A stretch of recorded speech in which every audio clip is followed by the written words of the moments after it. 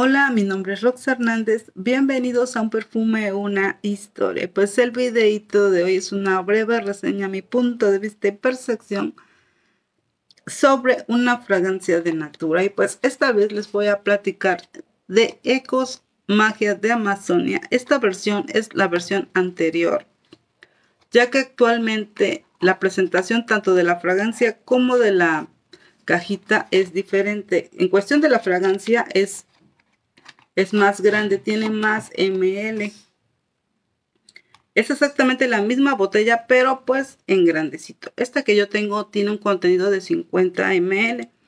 Y pues como podrán apreciar, pues es una fragancia que la verdad sí he usado bastante. Es una fragancia que disfruto muchísimo. Y precisamente si le hago su reseñita ahorita, es porque es ideal para otoño e invierno, ya que esta fragancia es un floral que se siente bastante especiado, amaderado y ligeramente balsámico.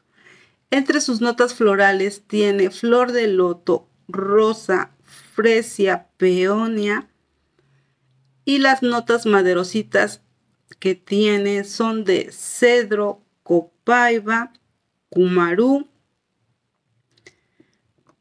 y las partes especiadas que les decía yo, pues es la pimienta rosa, abatonca, pripioca, notas verdes de vetiver.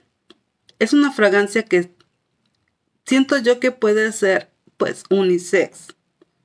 Porque pues tiene bastantes notas que quedan muy bien pues para ambos sexos.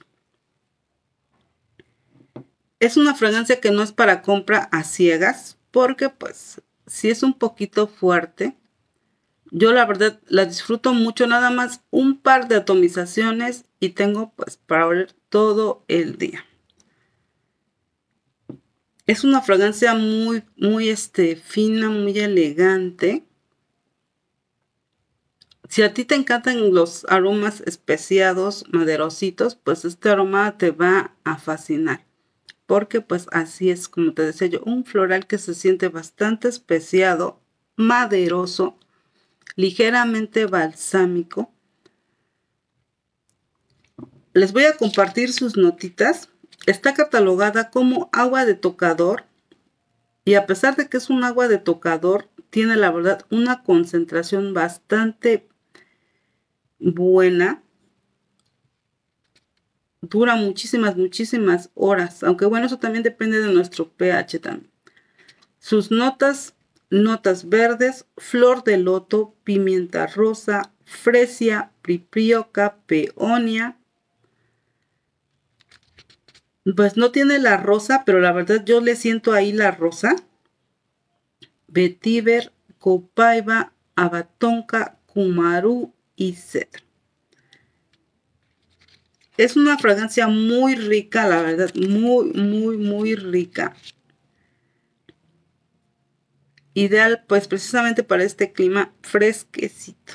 Si tú la tienes, me encantaría saber si a ti te gustó o si ahora sí que no, no, no te agradó porque tú la percibes muy fuerte.